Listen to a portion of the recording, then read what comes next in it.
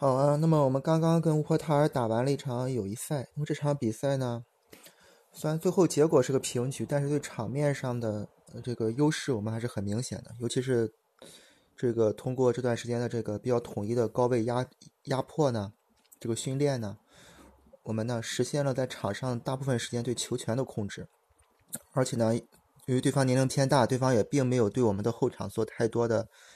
这个压迫，所以呢，我们的大部分时间呢是在进行一种阵地进攻。那么呢，在阵地进攻当中呢，我们的优这个表表现好的一方面呢，就是我们的球员呢，就是参加比赛的球员呢，有一个非常大的进步，就是说愿意去尝试去传一些安全球，更就是安全球的比例比以前增加了很多。而不是说急于去向前、向前再向前。那我们的左右两边的这个拉扯、这个倒脚，啊，比以前耐心了很多。这是比以前进步很大的地方。因为我们以前经常会出现过于急躁啊，攻击对方的铁桶阵的时候过于急躁，传了太多的威胁球，并不是很好的机会要强强行传威胁球，结果被断或者失误，结果被打反击啊。然后呢，产生这种雪崩的效应。那么这场比赛呢，这个问题基本上没有出现啊。除了第一个丢球，对方是一个运动战进球之外，另外三个丢球都是定位球，都是角球的问题啊。那么定位球防守呢，我们后面呢还需要再去练习。那么现在呢，我们要说一下，就是我们在阵地进攻的时候，当我们已经把对方摁在半场的时候，这个对方也不出来抢，那么我们应该怎么样去，呃，更好的去创造？局部人数优势啊，比如或者是创造空间去进攻。平常我们周五呢也练了一些，比如说两人局部配合的时候啊，可以有一些后套啊，或者有一些那么局部的换那个交叉换球啊这些小的套路。但是呢，我们现在要说的呢，这个视频里要说的呢，并不是这个局部的问题，而是从整体上啊，我们的球员之间进攻球员之间要有这个换位的意识。要有这个不停的跑位，通过跑位呢去打乱对方的防守部署的意识。那么对方呢，让对方呢无所适从，就是你跟呢，跟呢阵型就会乱；不跟呢，就会在局部少防多啊。我们要基本上呢，我我们要想办法呢，在这个方面呢下做文章。因为我们也踢过乌尼迪冈，我们会经常会发现，我们在尝试百大巴的时候，有些强队，他们就会通过非常这个聪明的这个传跑。传跑配合，让我们呢的防守体系呢直接崩溃。不管是我们采用盯人防守还是站位防守，那是真的防不住。而且对方并没有去一对一的过我们啊，但是呢，他们就是跑和传啊，就把我们的防守打穿了。那么他们这个跑和传能打穿我们的这个关键是在于什么地方呢？这也是我们这个视频当中需要讨论的一个地方。好，我们来看一下啊。那么这个就是呢。这个星期六的时候比赛的时候的一个常态啊，乌克塔尔是红色，我们是蓝色。那么在进攻的时候呢，我们压上去了，乌克塔尔六个人都在后面啊，包括门将七个人都在后面啊。从中场呢才开始呢给我们稍微有点干扰。那么在这个时候，我们应该怎么去组织？我们比较好的一点呢是，第一，我们的门将呢敢于出来去帮助导球了，这样呢对我们的中卫的这个接球压力呢也是大大的缓解啊。我们有非常多的这种。后防线的来回的转移啊，包括结合的中场这个六号球员的这个帮助呢，形成这种控控控制倒脚，然后左右拉扯，把球权能保护住，也给对方呢这个打反击的机会少了非少少了很多啊，这是我们这个进步很大的地方。但是呢，我们发现我们的问题就是到了这个进攻三区的时候，办法不多啊，就到了对方的半场，到了对方的禁区前沿。当面对对方的密集防守的时候，我们往往出现进攻停滞的问题，没有办法又又打回去，或者呢一脚射门草草了事。那么我们应该怎么去破这个局啊？我们来看一下。好，那么星期六一场比赛呢，大部分时间这个五号位置呢站的是陈世元，七号呢这个左边锋是吴明玉。那么起始位置都非常好，两个人压在这个底下啊，充分的。这个去限制对方的这个二号和三号两个边后卫的注意力，这个活动空间，让他们呢不得不去跟着你。这样呢，我们在中场呢六号啊、四号啊，就都有更大的空间呢去活动，这个是非常好的。但是呢，但是呢，我们不能只局限于这一点啊，我们需要更多的无球跑动。好，比如说现在三号的这个位置比如郑玉彪左后卫在这个位置拿球，六号在这里接，然后对方呢知道你要接球，对方呢在这里限制你啊，或者是这样限制你。那么这个时候呢，这个局面的关键人物呢，就是我们的这个七号和五号的跑位，这两个人的跑动决定了我们的这个进攻呢是停滞啊，是蹉跎呢，还是会出现一些杀机。好，那在这个时候，我们看到，如果对方的后卫跟出去了，比如我们的六号中场中场这个球员在后面接球，对方的后卫跟出去了，那么这个后方啊，这个空间就非常的大，对吗？那么这个时候，我们就要敢于去利用这个空间，我们要敢于去利用这个空间。那么如果说这个七号和五号是两个人呢，就应该至少有一个人。向禁区里面去插，啊，这是一点。好，那如果对方四号不跟出去，而是采用了六号回撤这种方式来防守，啊，就更加被动一点的防守，那我们当然可以很更从容去倒脚去消耗他们的体能，啊，比如当然站位站的比较好，我们可以倒倒脚去消耗他们的体能，但是我们迟早是要完成向前这一脚传球的。那么我们怎么去传呢？那么这个时候六号跑到第一个位置，发现自己被跟住了。那么我们的四号中卫呢，就要到中路来接应啊，球传给四号，这个是完全空的。那么这个时候六号呢，可以采用一个横横向跑动，寻找第二个位置。那么这个时候呢，就会太对他们的五号和六号造成混淆啊，他们同样是不敢去四号去跟啊。如果四号如果强行去跟的话，同样的我们五号或者七号插对方门前啊，我们可以适当的打一些，或者插这个位置啊，适当的打一些长传。如果对方在这种被我们压扁的情况下，还敢去前提防线的话，那么他们的身后就是大空当，对吗？那么四号可能还是不敢跟。那么六号呢？这个时候啊，看本来是在这里准备接应三号的，球给了四号之后呢，六号往这儿跑。那么对方的六号球员有两个选择，第一个选择去压压球，让五号来跟六号。那么这个时候呢，我们的二号就有空间了。那么这个时候打过来，哎，我们的这个右边路就有机会上球。这个球上去了，啊，这边呢就可以，因为这个五号呢收的比较紧，那么右边这边就会出现二打一的机会。这个这个时候呢，我们的二号球员呢就要敢于呢去带一下球，把球呢往前推进几米，这个突破这个五号这个平行的这个防线，别逼迫他回追，啊，这如果你够快的话呢，他来不及回追呢，你就突破他这条线了。那么这个时候呢，局部呢你就可以和二号和五号之间形成二打一。如果他去强行防这条线的话，那么这时候六号这里就会有线路，甚至你可以自己拿球往往内内切，这都可以。那么与此同时呢，这也是我们最最有问最有问题的一点，就是我们的七号球员呢，这个时候千万不要留在边线上，这个时候七号球员一定要溜过来，寻找这里的可能的空间，啊，也有可能你会甩开三号，在这里直接形成后点的抢点，这是可以的，啊。这个星期六比赛有一次，凯伦呢给吴明玉传了一个传中，稍微高了一点，但是呢，这种传中呢是可以的，就是说有空位，然后呢后点也确实跑出机会来了，可以去传。那么你也可以呢更大胆一点，直接溜过来啊。那么这个时候呢，在这里局部更加形成了这个多多打多打少的局面，好吧？这是呢我们的一个思路，就是通过。如果说对方的防守很保守啊，就是七号在这里压一下球，干扰一下，他们采用中场回收，放掉我们中卫这个点去防守的话呢，我们完全可以呢通过这样的移动，六号通过这样的移动去吸引对方五号的注意力，对吧？然后呢，我们给二号创造空间。那么有人要问，那么这时候六号如果移动，五号不过来跟，五号还站这儿，六号过来防，那这怎么办呢？那这也很简单。那么这个时候就是我们需要这个提升的地方。那么这个时候呢，我们在这个七号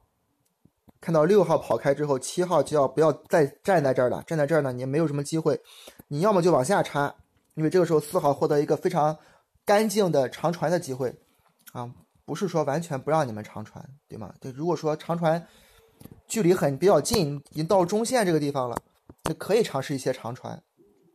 但在本方禁区那里的长传距离太远了，成功率不会太高，对吗？或者呢，那么对方你先往下跑，那么对方三号如果跟出来了，你再一个反跑提上去，那么这个时候你会发现，哎，这个空间就非常大。那么这个时候我们的三号球员呢，顺势向下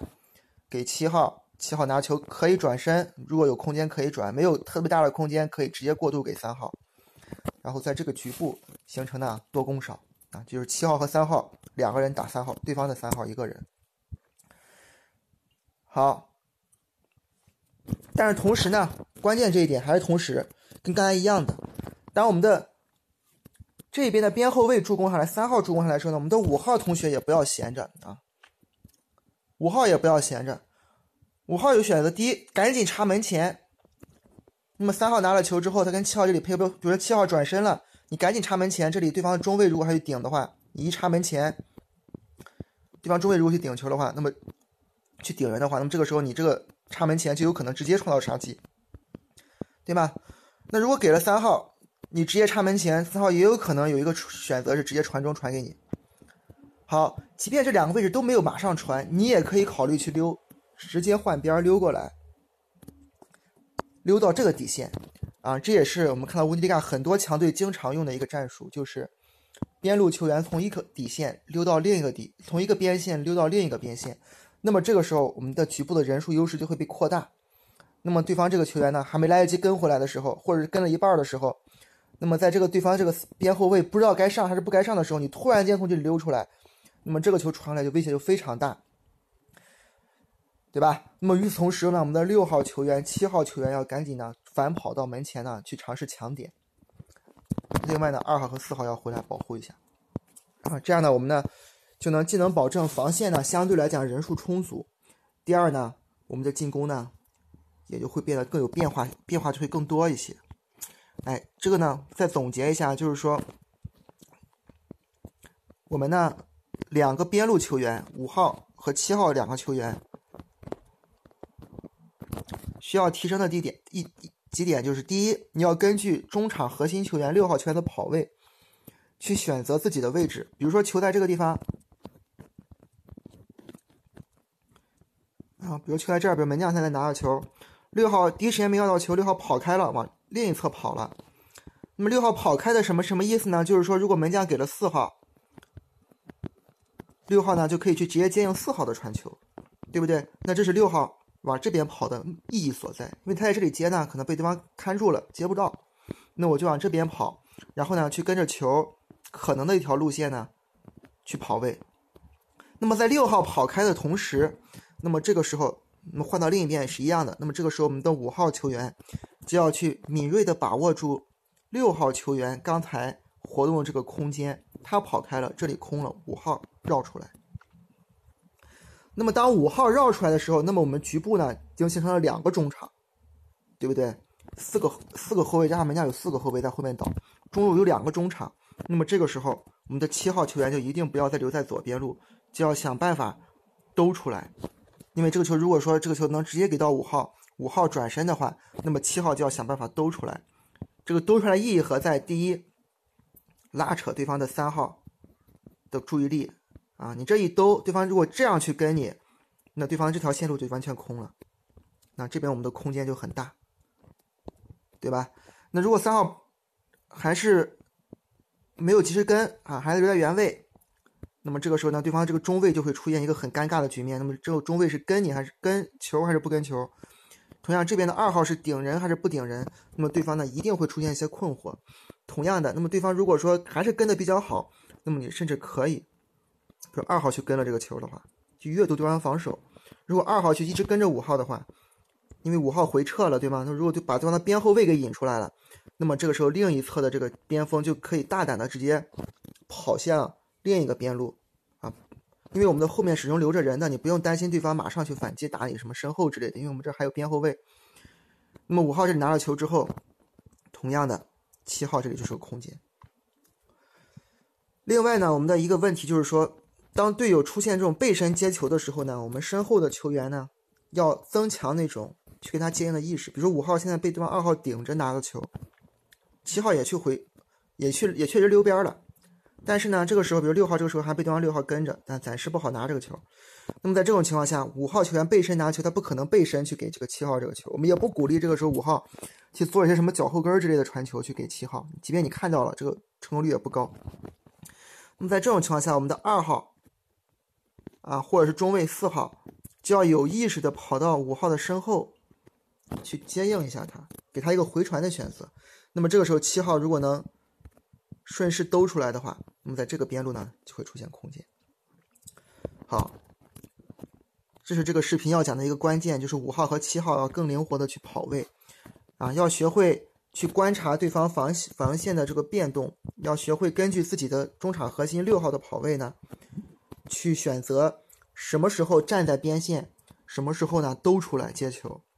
什么时候溜边儿换边儿，啊，要多一个换边。这是在阵地进攻的时候可以考虑的。第二呢，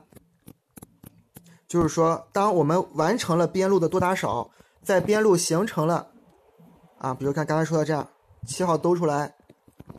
五号溜边儿，然后七号、二号边左后卫啊，还有这个五号在这里已经形成了这个局部人数优势了，给了五号，那么在这个时候，我们的禁区里面一定要插人。禁区里面一定要有人往里插啊！我们有很多时候呢，就是属于这种，就是属于这种什么边路进行突破了，然后禁区里面没人，或者就一个点。那么这个时候呢，也不能太保守啊。比如这个时候左边路已经形成突破下底了，对方这个时候已经出现失位了，那么这个时候七号、六号就可以敢于一个插前点，一个插后点去抢点。同时呢，我们的三号和四号当然要求保护了。那么你们的二号。这个二号刚刚传上来球之后，马上就可以内切到这个倒三角的位置，去接应这个五号啊，去打远射或者怎么样？好吧？或者是二号这个时候没上去，那么这个时候四号是不是可以上去？那么看到中卫上去了，二号、三号在后面保护，中卫去倒三角的位置上需要一个球也可以啊。当然，这东西需要我们在进攻端呢有更多的默契。但是呢，我们先把这种思路提供出来啊。那么总总结就是，第一点，五号和七号要学会观察啊。现在站位无球状态下，知道去站位拉开空间了，这一点这个进步是比比较明显的。但是呢，在有球的情况下呢，要根据队友的跑位，利用更多的中场的这种空间去拉扯对手。第二呢，必要的时候，两个边前卫可以进行一些换位、交叉换位，可以呢，两个人靠到同一侧去进行这个。组织进攻啊！其实两个边前卫靠到同一侧，我们在里昂和在柏林的比赛的时候呢，也都有有过这样的要求啊。我们把这个东西呢再拾起来啊。当然，这个现在的这个要求呢，会跟以前还不大一样，因为以前呢比赛可能会考虑一些越位的问题，这个没有越位，那会有更多的溜底线的这种靠到同一侧啊，更多的空切。第三呢，就是在边路形成突破的时候，中路的球员呢要及时的去抢点。另外三个后卫呢，要有一个人呢跑到禁区前沿寻找远射倒三角接应的机会，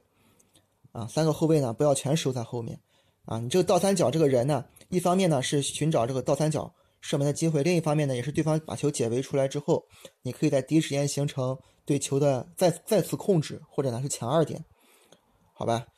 这是我们对于进攻端的一些总结。